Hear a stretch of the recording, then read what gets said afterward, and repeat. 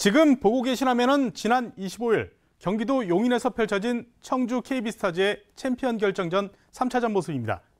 KB는 청주 2연승에 이어 이 경기에서도 승리를 거머쥐면서 3연승으로 정규리그에 이어 챔피언 결정전까지 첫 통합 우승을 확정짓습니다. 1963년 팀 창단 이후 무려 56년 만에 첫 우승인데요. 팀 성적만큼이나 홈팬들의 성원과 관심도 그 어느 때보다 뜨거웠습니다.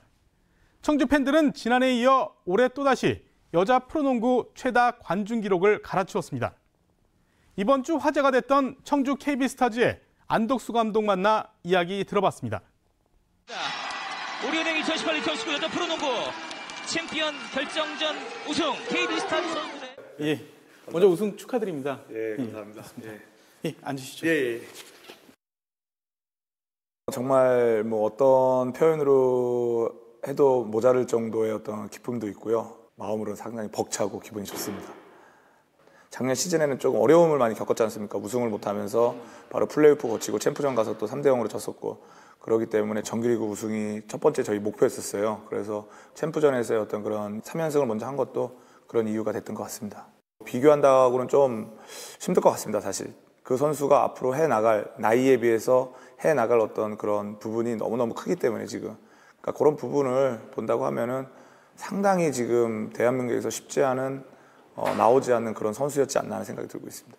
몸 상태도 참 안 좋은 상태에서 최고의 어떤 그런 주장의 품격을 갖고 간 우리 강하정 선수나 또 교회를 데리고 온 연민아 선수, 또 심성영 선수, 거기에 식스맨으로 많이 활약을 했던 김민정 선수, 또 그 외적으로는 코치들이 저의 뜻과 선수랑 같이 어떤 훈련하는 모습을 잘 정리를 해줬어요. 그 청주라는 그 팀에서 하는 것도 행복이지만은 청주 팬들과 같이 이런 승리를 같이 가져갔다는 거는 정말 큰 앞으로의 그 재산이라고 생각을 하기 때문에 청주 팬들한테는 항상 고맙게 생각을 하고 있습니다.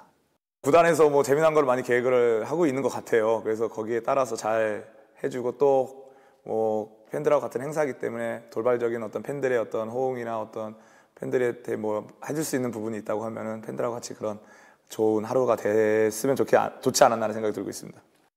창단 첫 우승을 했지만은 음, 첫 우승이 정말로 앞으로의 그 전성시대를 이루어갈 수 있는 밑거름이 될 수 있는 2연패, 3연패째 가려면은 저희가 앞으로 박지수 선수나 또는 외국인 선수들한테만 의존할 수 있는 것보다는 외곽에 있는 플레이가 많이 살아나면서 더 좋은 그런 부분을 가져가야 된다고 생각을 하기 때문에 뭐 비시즌 때는 그런 부분을 좀 잘 생각해서 준비하려고 합니다. 다시 한번 우승 축하드리겠습니다. 네, 감사합니다. 감사합니다. 말씀 감사합니다.